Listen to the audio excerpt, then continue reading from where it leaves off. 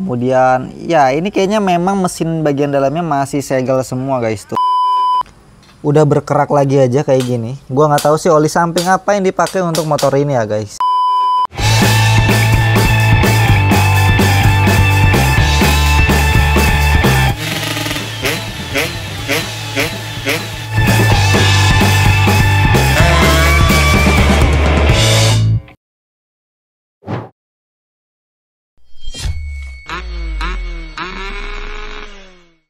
Halo semuanya, balik lagi di YouTube channel Ko Daniel. Oke guys, jadi di video kali ini ya seperti judul dan thumbnail yang kalian udah lihat, gua akan ngebelah mesin Ninja nih cuy. Ya ini mungkin berarti yang kedua kalinya gua belah mesin Ninja. Gua pernah belah mesin Ninja tuh waktu gua masih sering main ke uh, bengkelnya si Amel ya guys. Gua pernah bongkar di situ, gua belajar juga. Dan ya sekarang gua juga beraniin untuk belah mesin Ninja ya. Ini motornya Ridan. Jadi uh, sebenarnya motor ini nggak diapa-apain sih. Jadi cuma belah terus bersih-bersih. Ya mungkin ganti-ganti beberapa spare part yang mungkin udah nggak layak aja cuy. Nah jadi di sini gue dibantu sama koko gua. Dan di sini juga ada awal. Nah dia awal lagi prepare dia mau ke Bandung ya guys ya. Dia mau ke Ciwidey buat cornering. Jadi prepare banget ini bannya udah slick. Nah bannya udah slick kayak gini ya kan memang sengaja nih nanti di pinggirannya ini diamplasin masih ada kembangnya dikit. Nah ini Diablo Rosso Corsa 2 ya guys ya. Diablo Rosso Corsa 2 dan itu nanti kepalanya diganti pala buta. Ya jadi awal juga lagi siap-siap dia mau ke Bandung. Beberapa dia ganti blok seher jadi pakai blok standar lagi supaya lebih jengat-jengat ya. Lebih akselerasinya lebih dapat lagi. Terus di sini juga ada motor yang tetangga gue ya motor tetangga gue ini lagi lelah ya lagi santai kawan ya ini lagi santai kan. Jadi motor ini akan gue proyekin juga nanti akan gue lanjut di part 2 nya karena tetangga gue udah setuju kalau motornya mau di upspec gitu ya cuy. Karena ya memang kalau dilihat dari blok sehernya udah lumayan besar dan gue jadiin aja lah sekaligus gitu. Dan budgetnya juga gue sesuaiin juga sama tetangga gue ya guys. Oke jadi lanjut aja pakai kamera belakang ya gue biar lebih enak untuk ngejelasinnya gitu cuy. Oke jadi Ninja ini Ninja RR New um, sebenarnya motor ini udah pernah datang ke sini untuk uh, bersih-bersih ya. Awalnya sih dia pengen porting uh, buang kulit jeruk tapi setelah dibongkar ternyata bagian crankcase ini keraknya banyak banget ya. Sampai-sampai uh, efeknya tuh ke yang lain-lain cuy. Tapi untuk blok seher sebenarnya udah gua bongkar dan gua udah bersihin juga waktu datang pertama kalinya ya motor ini coba kok itu karburatornya. Nah jadi uh, bukti si karburator eh, karburator. Bukti motor ini kotor adalah di bagian karburatornya nih cuy. Ini karburator standarnya. Sebelumnya nih pernah ganti pakai PWK uh, 28 HB juga guys. Jadi PWK 28 nya dipindahin ke Fish yang Fish yang biru putih. Ya kalian lihat juga kontennya. Nah Nih kalian bisa lihat di sini ada bercak-bercak kayak gini. Nah, ini tuh kotoran dari bagian crankcase guys. Ini tuh lengket dan nggak bisa diusap pakai tangan ya. Diusap pakai tangan nggak hilang. Perlu disikat ya, perlu disikat kawat dan diguyur bensin pun dia nggak hilang guys. Jadi memang udah sebandel itu ya kerak dari motor ini guys. Jadi uh, rasanya percuma kalau cuma bersihin ya servis karburator nih bersih bersihin terus dibuka lagi blok sehernya dibersih-bersihin headnya dibersih-bersihin. Tapi kalau bawahannya nggak dibersihin nggak dibelah itu percuma aja guys. Nah nanti kalian bisa lihat sendiri deh. Nanti kalian akan kaget ketika ngelihat kerak-kerak yang ada di bagian uh, crankcase dalamnya ya di ruang krukasnya cuy. Ini kita pretelin dulu dan langsung aja turunin mesinnya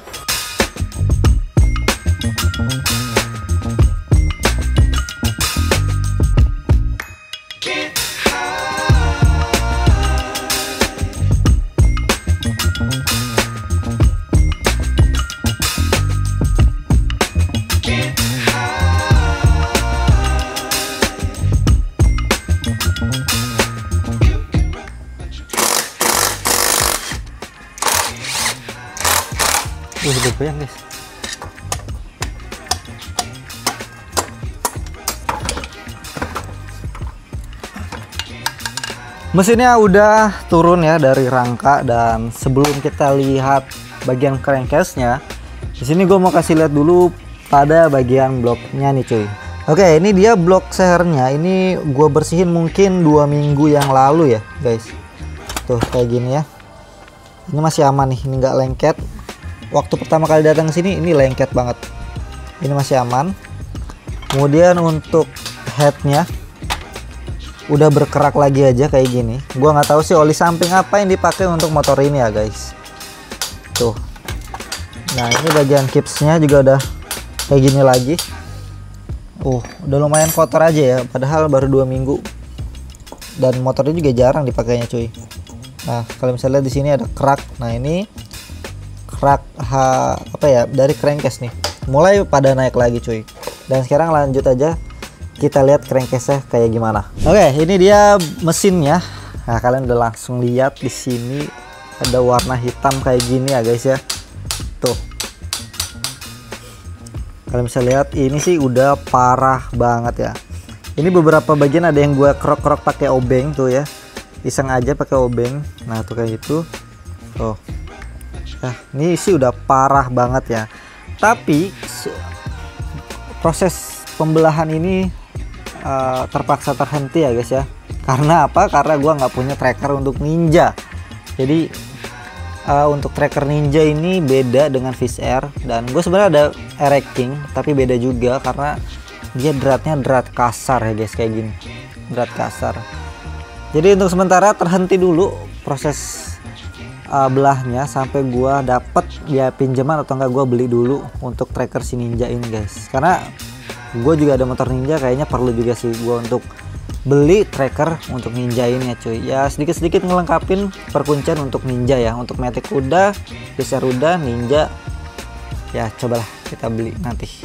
Kalau nggak ada pinjaman kita beli aja guys. Oke okay, dari Prada project ini tertahan cukup lama ya guys ya jadi di sini langsung aja kita bongkar pada bagian koplingnya ya.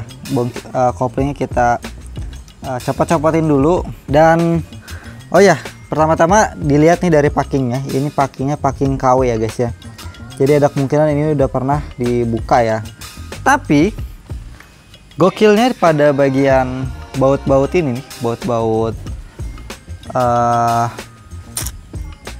rumah kopling ya, baut per kopling. Ini sih kalau dilihat-lihat ini belum pernah kena mata kunci ya guys ya. Jadi masih segel. Nah, ini masih segel. Ya tuh, segel ya.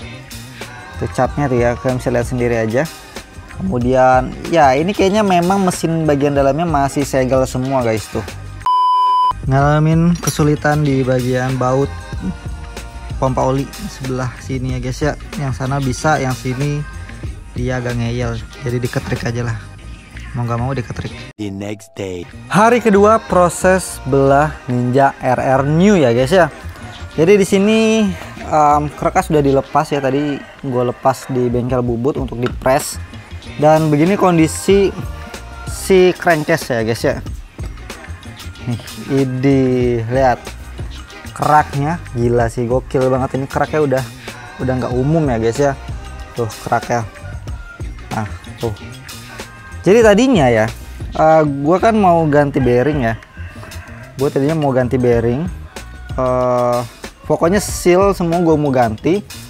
Tapi gue melihat di sini bearing yang terpasang ini dia ada kodenya HS di sini guys ya. HS tuh ya. Jadi ya tau lah HS tuh biasanya tuh high speed ya. Bearing-bearing high speed di sini ada uh, kode HS nya jadi kemungkinan besar bearing ini tuh ya bearing racing ya mungkin ya. Gue juga masih awam juga nih cuy. Terus untuk bearing yang sebelah kiri ini nggak kelihatan karena bacaannya ada di dalam semua ya guys. Bacaannya ada di dalam semua. Ini pun ketahuannya ketika udah dilepas. Disayangkan gua udah beli bearing. Nah ini. Bearing untuk motor ini ya tadinya tuh. Nah original juga. Ini original untuk standar ya. Ya kan made in Japan tuh apalagi. Dua kiri kanan udah gue beli juga. Tuh. Tapi di sini ya di yang baru ini dia nggak ada kode HS ya guys ya. Gua udah bolak-balik di sini nggak ada kode HS nya ya ini bearing ini harganya berapa ya? Tadi sekitar 200 ribuan lah. Udah dapat dua gini guys ya. Udah dapat dua 200 ribu. Tapi ada juga bearing ninja setahu gua itu ada yang sampai di hampir 400 ribu guys. Dan kalau kata teman-teman gua itu adalah bearing punyanya ZX nah baik lagi. Di sini kan bentuknya bearingnya standar tapi ada kode HS yang mirip sama Air King yang ada kode HS, HS juga guys. Tuh. Jadi gue curiga di sini ya ini bearingnya udah bearing racing gitu guys. Gue mau ganti pun kayaknya lebih bagus bearing ini cuma kondisinya aja yang udah kotor kayak gini guys ya. Tuh. Nah gue penasaran sih yang satu ini kodenya apa nih guys ya kalau kodenya HS juga ya nggak usah diganti sih menurut gue ya. Biarin aja uh, bearing racing gitu. Ini pun cuma sekedar kotor aja muternya masih bagus tuh. Masih ringan nggak ada gerdek-gerdek gimana tapi sayang banget ya gue udah beli udah dibeliin bearing krukas sama gue nih. Aduh ya beginilah guys ya. Nanti gue akan konfirmasi dulu sama yang punyanya. Kalau kalian ada yang tahu bisa tulis di kolom komentar ya guys ya tapi ya untuk kali ini kayaknya gue konfirmasi dulu sama si pemilik motor. Oke mau diganti atau tetap pakai bearing ini ya?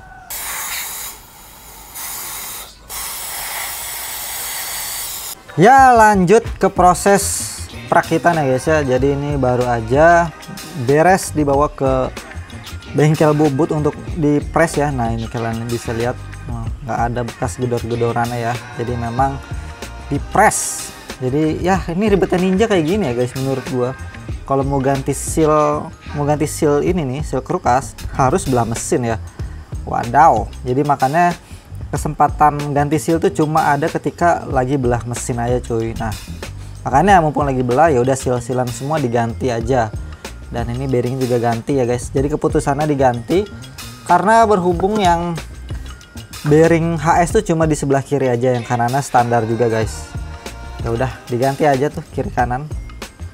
Nah tuh press. Jadi ya sebisa mungkin seproper mungkin ya dengan uh, keterbatasan yang ada kita memanfaatkan bengkel bubut ya. Ini dia salah satu bukti ganasnya kerak di mesin ya guys. Tuh lihat. Ini di membran dan ini bisa naik juga ke karburator guys nah ini membrannya tuh. Ya bersih-bersih aja dulu deh. Semoga aja bersih sih. Harusnya pakai cleaner sih bersih guys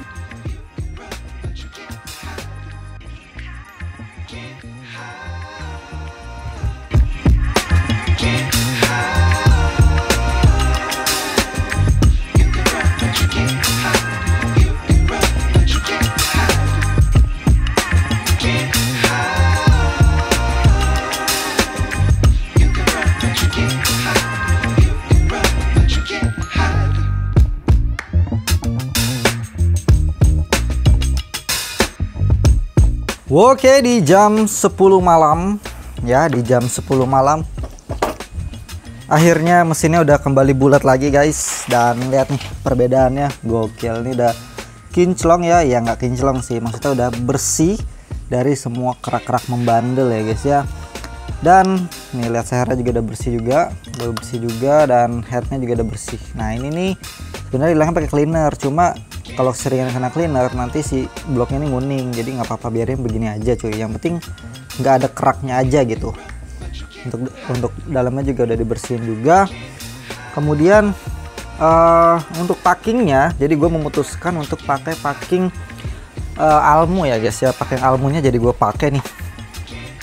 Nih packing almunya jadi gue pakai dan ya kita lihat.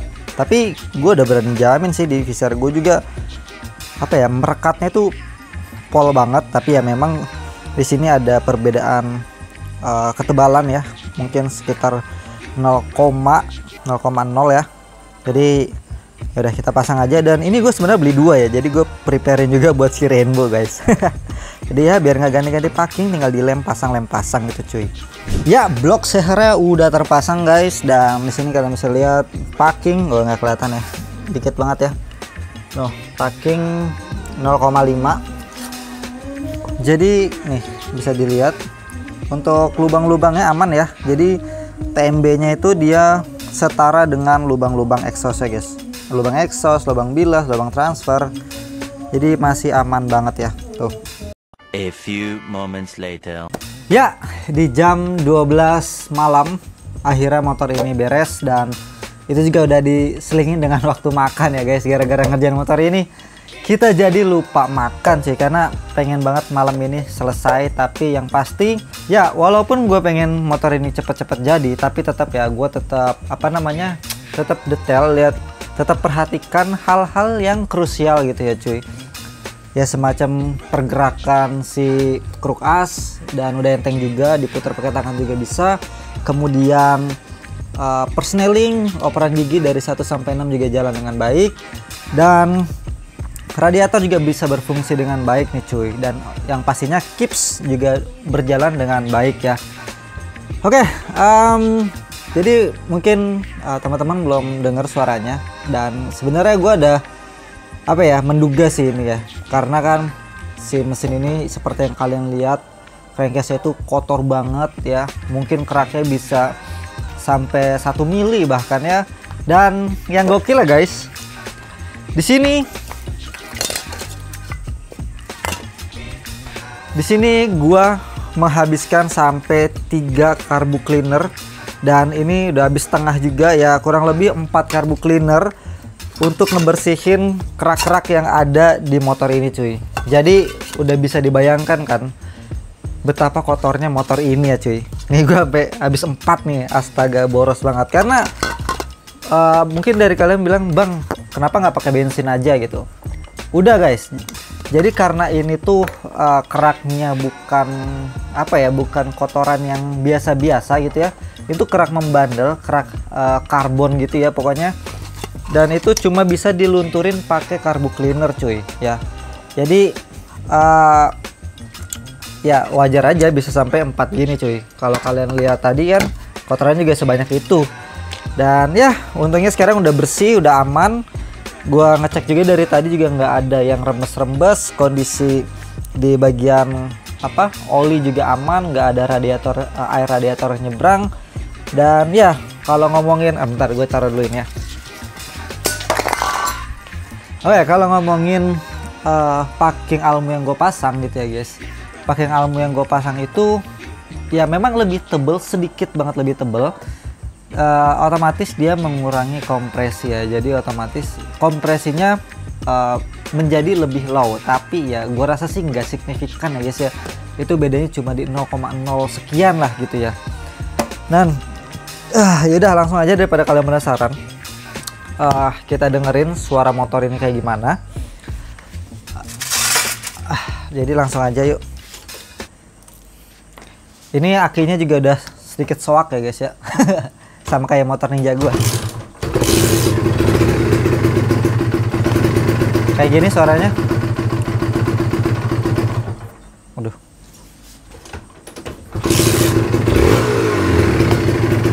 terdengarnya uh, masih adem ya guys ya? Terdengarnya adem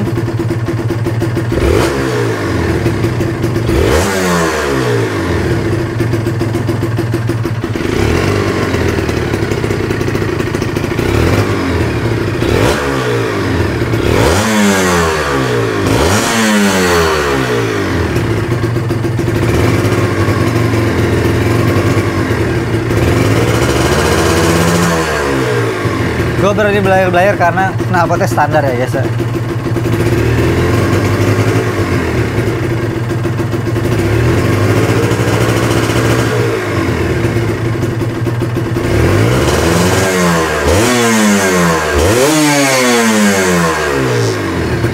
Oke, ya sejauh ini aman, nggak ada kendala.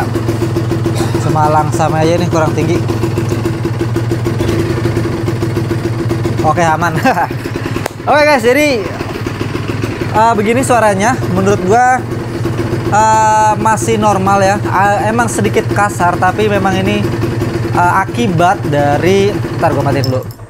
Jadi suara mesin yang kasar ini itu akibat dari kerak-kerak yang sebelumnya itu dia mengendap di bagian bawah ring, di bawah ring seher dan uh, terus gua bersihin dan akhirnya jadi berisi, berisi kayak gini guys jadi bunyi berisik itu karena di bagian sehernya ya ini sehernya juga udah lumayan uh, parah ya guys ya. Udah berisik kayak gini mungkin ringnya juga udah habis cuy. Ya kalau mau adem mau nggak mau naik ke B75 karena ini masih B polos ya. Kalau B75 kemahala, kemahalan ya bisa kayak gua pakainya NPP cuy. Tapi kalau kata orang-orang NPP itu udah opsi terakhir ya. Tapi kalau menurut gue itu opsi yang paling rekomendasi ya karena harganya yang murah banget ya cuy kalau B75 sekarang harganya udah di 800 ribuan untuk seher plus ring aja. Dan ya kalau bisa masak sendiri. Kalau pakai jasa orang lain ya makin mahal lagi cuy. Jadi ya kayak gitulah kondisi uh, mesin kayak uh, si Ninja R New ini ya RR New ini. Menurut kalian gimana? Apa kalian juga pernah ngalamin kondisi mesin sampai kayak gini? Bisa tulis di kolom komentar dan ya udah thank you juga buat Ridan yang udah mempercayakan motornya dibongkar di sini. Nah ini, tinggal rapi-rapiin aja ya santai aja. Oh ya PR satu lagi. Radiator nih radiatornya kurang nih. Jadi mendingan dikuras terus ganti lagi yang baru aja. Karena di sini udah kelihatan uh, banyak kerak-kerak yang tertimbun juga ya. Jadi mungkin radiatornya dikuras lagi karena mesin udah bersih. Jadi ya udah air radiator yang baru lagi nantinya cuy akan gua konfirmasi juga sama Ridan Oke jadi terima kasih buat teman-teman yang udah nonton video ini semoga video ini ada manfaat buat kalian kalau ada manfaatnya boleh kalian share ya kalau nggak ada ya udah kalian tonton sendiri aja ya cuy ya. Jadi sekali lagi terima kasih semuanya. God bless you all. Bye bye.